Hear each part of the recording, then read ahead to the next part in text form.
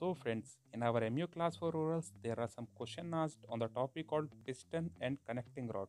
So the question asked are as follows. Overhauling of piston and connecting rod, checks on piston, checks on connecting rod. So these are the most important questions which I have covered in this video.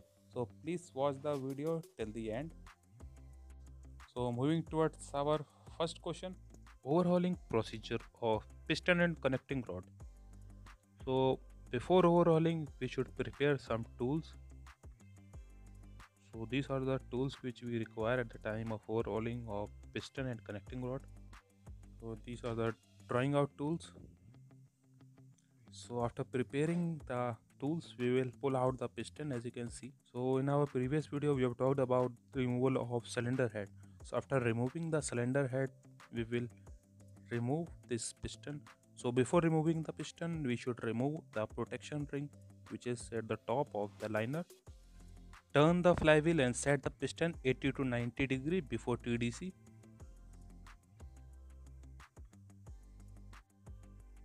Now we should support the liner. For supporting the liner, we will use liner supporting tool. So this tool is used so that liner is not floating. We will fix the nut a tightening nut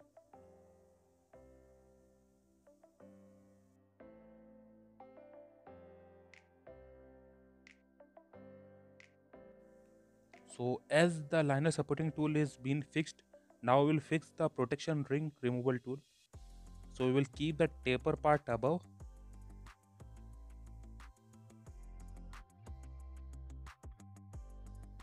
So once the tool is been fixed we will now turn the flywheel and as you can see the piston will come up due to which this piston ring will be removed easily.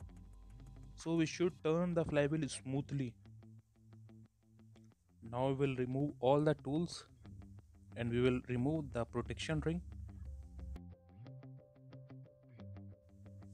Now we'll move towards the lifting of the piston. So before lifting the piston we will clear all the carbon deposit present on the liner and top of the piston.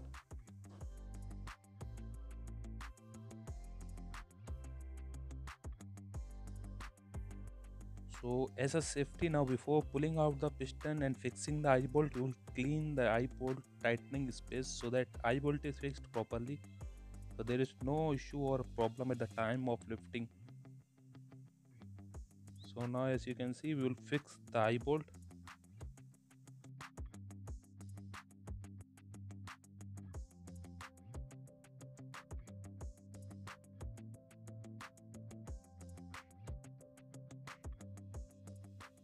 Now with the help of crane, hold the piston and loosen the connecting rod bolt and remove the metal cap so that the piston can be pulled out. So these are the connecting rod bolt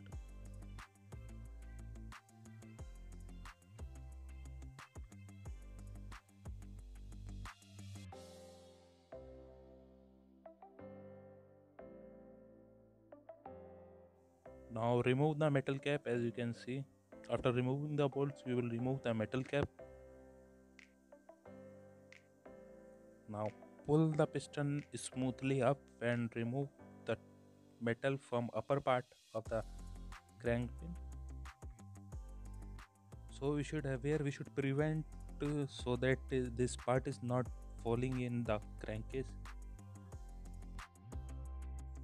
So now smoothly lift the piston and we should do it smoothly so that the connecting rod does not touch the liner and make some damage to it.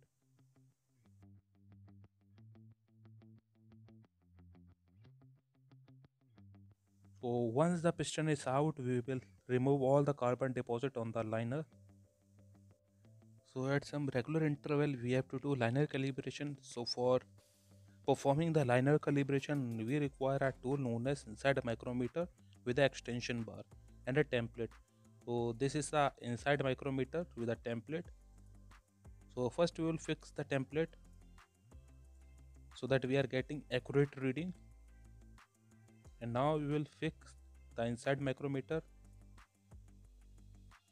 we will take the readings on the two sides half port and star port and port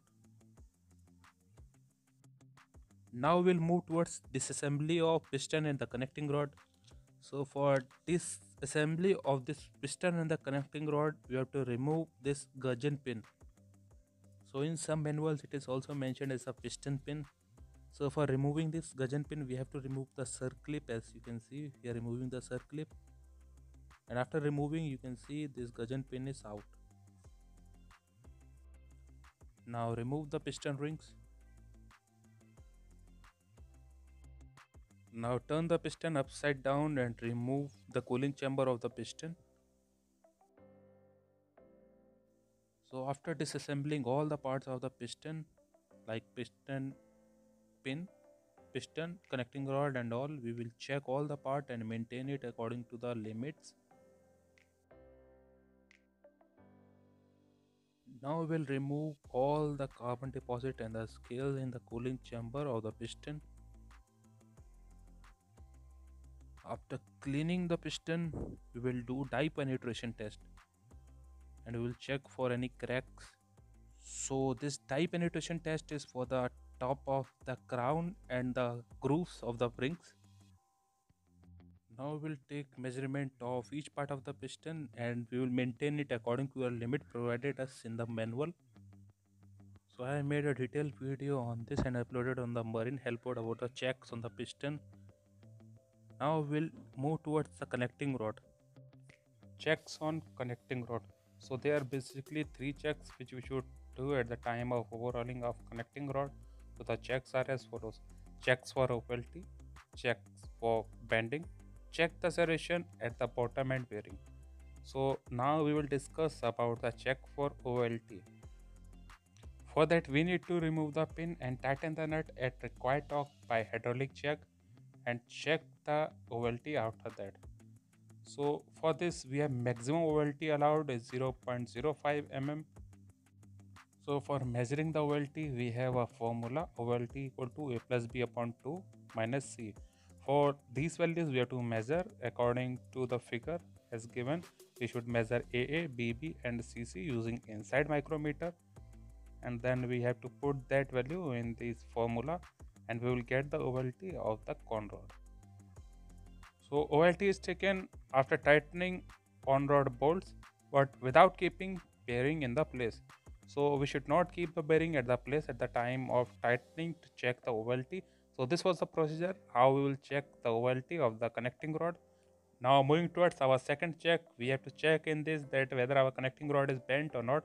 So for that we will take a very fine rod and put that rod in the drill passage which was given for the flow of oil for the lubrication of the piston. If it moves inside the passage without any restriction or it goes freely, then everything is okay. So this was the check for the bending. Now moving towards our third check. So the third check is check for serration at the bottom end bearing. Third and the most important thing that you need to check is the connecting rod serration which can take the shear stress. So this serration takes the shear stress of the connecting rod. So we need to check it properly. So for checking the serration, we need to perform a dye penetration test. So friends, keep watching the video. I will show you how we will do dye penetration test. And friends, this topic is very important. Checks on the connecting rod is very important as per your MEP and motor orals. It is has been asked many times. Now moving back to our video so now we will check for the scratches or any corrosion at the connecting rod bottom end and the top end. So these are the metals of the bearing we will check for any scratches. And the sliding surface also we will check and we will check that any other foreign material is not embedded in it.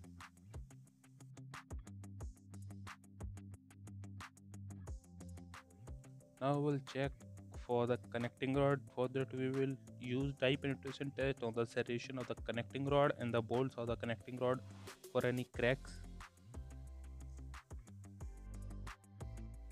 So there is one question asked about the connecting rod bolt whether they need to be changed if they are in good condition also. So for that the answer is that yes we should change the connecting rod bolt at the time of the interval given by the manufacturer. Now check the metal thickness of the bearing by using the outside ball micrometer. So after all the checks, now we need to assemble the connecting rod and the piston back. So we should tighten the connecting rod to bolt by specified angle given. So there are some marks on the connecting rod which we should match at the time of tightening of the connecting rod with the bolts. So these are the connecting rod bolt. On that also there are certain marks. Apply some lubricating oil on the connecting rod bolts.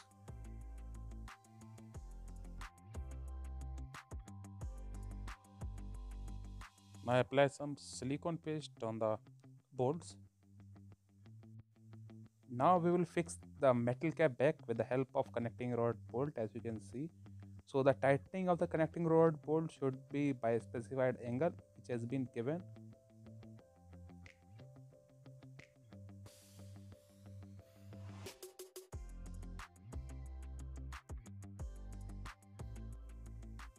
Now with the help of tightening wrench we will tighten the bolts of the connecting rod.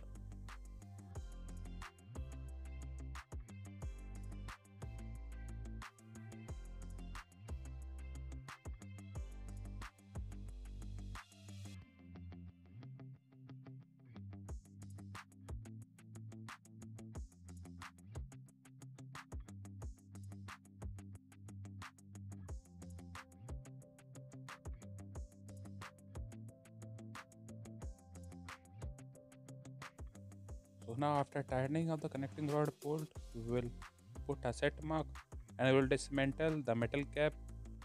So this is the method how we put the metal cap and connecting rod bolt at the time of assembly of the connecting rod at the crank pin.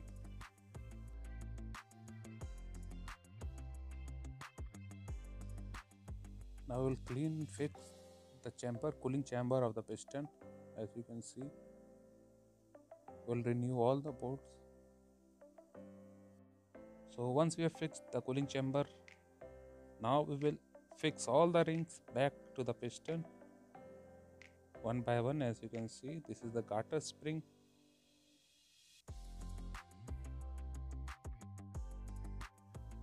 So now we will fix the ring as per the order. This is the second ring. As written on it 2t so it means the second ring from the top. After fixing this we will fix now t1 the top ring.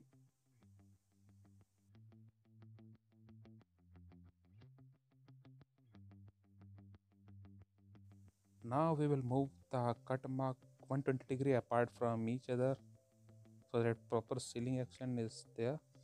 As you can see we are moving it 120 degree apart from each other.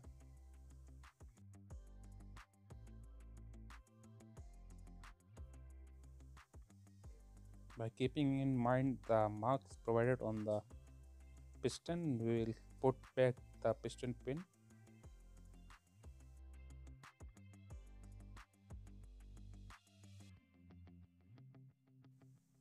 Fix the piston pin circlip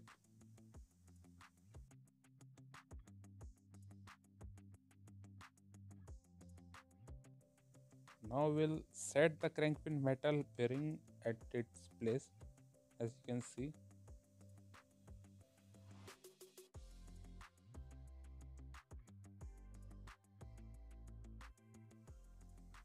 Now we'll lift the piston up by the help of eye bolt.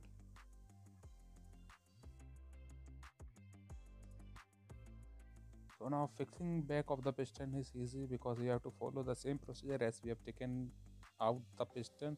So we'll follow the reverse section of that procedure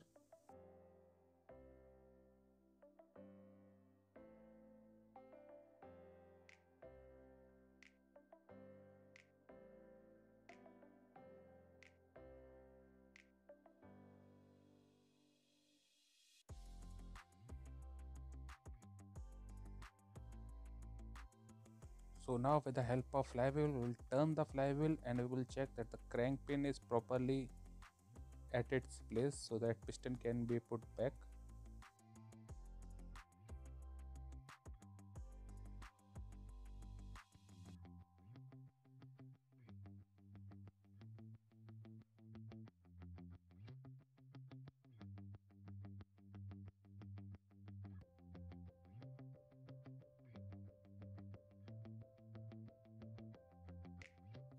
So as we can see piston is not going inside. Now with the help of resin hammer we will put the piston inside. So once the piston has reached its position now we will fix the metal cap of the connecting rod. So this procedure uh, we have already discussed that how to put the metal cap of the connecting rod by applying the lube oil and the silicone paste. So as you can see we will fix the metal cap after fixing it we will put the connecting rod bolt. So we have to keep in mind about the marks provided on the connecting rod bolt and the connecting rod metal cap